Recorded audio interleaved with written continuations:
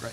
Gerry, thanks very much. Um, firstly, it's great to be back uh, in Christchurch. I've got to say, I haven't been down in the red zone for probably a couple of months, uh, is my guess. I've been in Christchurch, obviously, on numerous occasions, but not actually back into the red zone and it's a combination of emotions actually. I think uh, firstly uh, quite sobering just the extent of the damage. You know you when you leave the city and you're not intimately involved in it you forget just how significant uh, the damage has been and the destruction to the people of christchurch. So uh, reacquainting myself with that is uh, quite an emotional uh, point actually i'm uh, spent so much time here when the earthquakes first took place. I think secondly, it's uh, yeah, I can see the progress that's been made. Team's doing a fantastic job. Obviously, a lot of buildings have come down, and uh, I managed to get an indication of the number of buildings that will follow from here. So a lot of progress happening. Um, we are uh, here really today to to launch a project restart the heart which is really all about saying uh, we want to get some retail activity happening here back in Cashel Street back for show week uh, first week of November and really it's a display of uh, yet another step forward in progress in restoring the vitality uh, the heart of Christchurch and the belief that this city will be rebuilt uh, and come out of uh, the ashes of destruction to be an even finer city. And yesterday we saw the, the plan unveiled for the CBD, and, and again, that's a very exciting, I think, step forward to give people real encouragement that we're all committed to the rebuild of Christchurch. My understanding is there'll be about 64 65 of these uh, containers uh, that will be forming a shopping precinct and uh, again be a great opportunity for some retailers to come back uh, and engage with their customers and, and get re-established.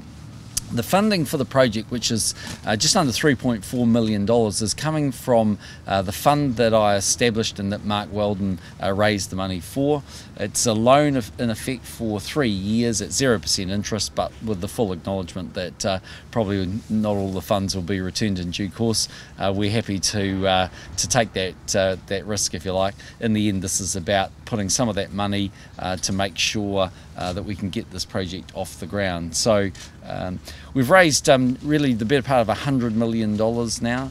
Uh, last night I was at a uh, fundraising function in Auckland for the New Zealand Olympic Committee, raising funds for the New Zealand Olympic team. But as the last part of that auction, uh, they raised again just under I think $40,000 for Christchurch. And I think if you look at the entire amount of funds that have been raised between the Salvation Army, the Red Cross, uh, the Prime Minister's Fund, and various others, it'll be well and truly in the order of about a quarter of a billion dollars. And I think, uh, in comparison to all of the funding required to get Christchurch back on its feet from the insurers, reinsurers, EQC, and the government, obviously that's a small amount of money, but it's an extraordinarily large amount of money for a small country to raise for the things that just make a community uh, work and hold a community together. And the, the sign, I think, of the international and uh, nationwide support for Christchurch. Uh, there wouldn't be a day goes by where I don't get people continue to ask me about how the progress of Christchurch is going. Uh, you're still very much in the thoughts and the hearts of uh, New Zealanders and from people around the world, whether it's from uh, the Oval Office and the White House uh, through to uh, you know our most recent trip to India. this is something that's caught the attention of people from right around the world. I do want to thank Roger Sutton and the team at CERA and Gerry for all of his work. Uh, and all of the um, ministers and MPs that have been involved. It's a huge, huge project. Uh, we were talking to Warwick before about you know whether this was a sort of a world record, if you like, of the number of buildings that have actually been demolished in any urban environment. We think that's the case, uh, but when it comes to Christchurch, you've set so many records. And I know they're not records that Christchurch would have wanted to set, uh, but they are an example of just how significant these earthquakes have been, and um, it's a testimony to the uh, people of Christchurch uh, that they are so committed to the rebuild. So um, we continue to be here to support them in everything they do. Um, so Jane, if I could pass over to you and to make a few more comments, and um, thank you for the opportunity to, to make a few remarks this morning.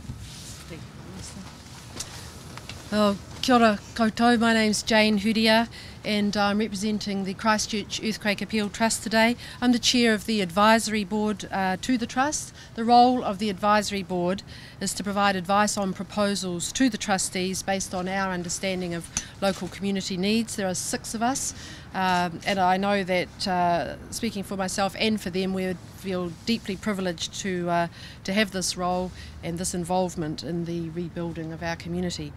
Uh, the Trust identified very early on seven categories of need to which funding would be applied from the Trust. These are education, sport and recreation, heritage and culture, natural environment, spiritual and faith, economic revitalisation, and hardship and relief. So, to support the overall recovery, the trustees are most interested in funding projects that provide a bridge to the future, projects which help our community move forward.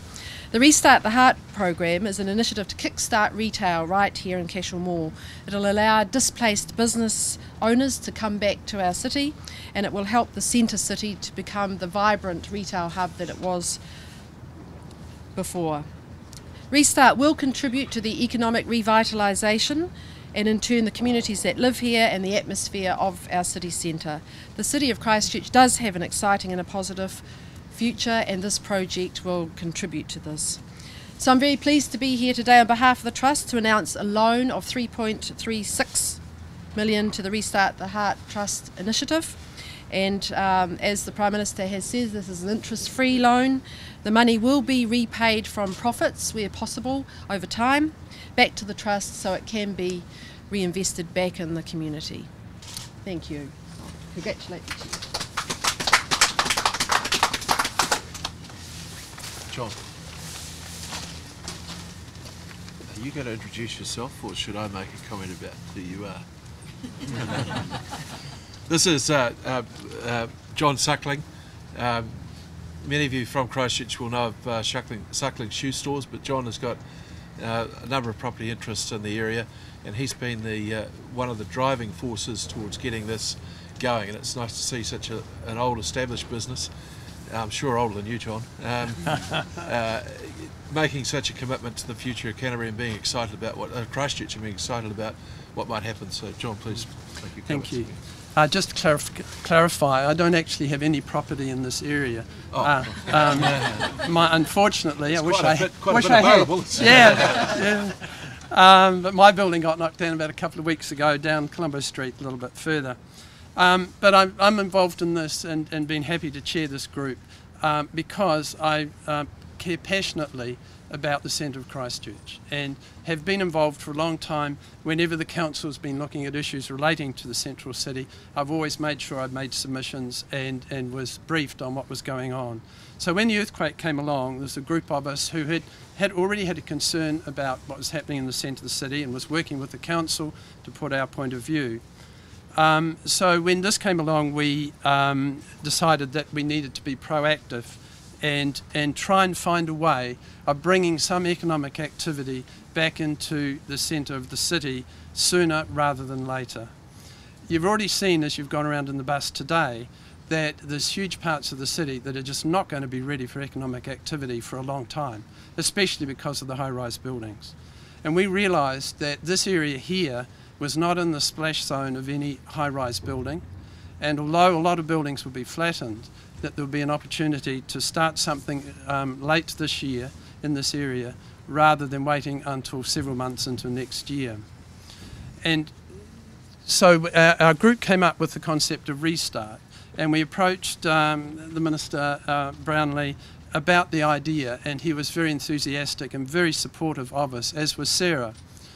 And we also then took that um, to the Mayor, Bob Parker, and again, we were delighted that he was very positive about the concept and saw it as an opportunity to get economic activity in the centre of the city before Christmas this year.